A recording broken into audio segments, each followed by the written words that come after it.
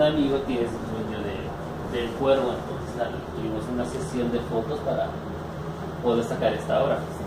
Para sacar al cuervo una foto fueron como dos horas para que saliera solamente una foto de esta imagen. Pues ya pudo salir esto, los cráneos, todo eso por allí están, es un, este, cuerpo y restos que ahí están por ahí este, los postales.